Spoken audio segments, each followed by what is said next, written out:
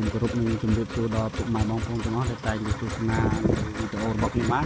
ថ្ងៃនេះគឺសូមបង្ហាញពីការពុះស្រូវហើយយើងរស់លុបវាដោយសារ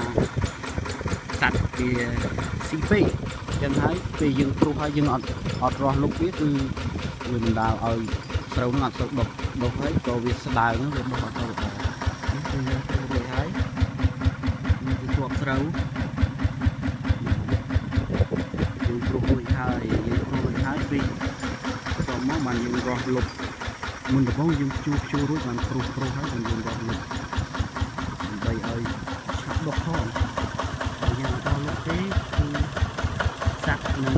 គាត់ញ៉ាំអស់ដល់ពេលគាត់ញ៉ាំអស់គឺស្រូវនឹងអត់ដុះទេសូមអរគុណច្រើន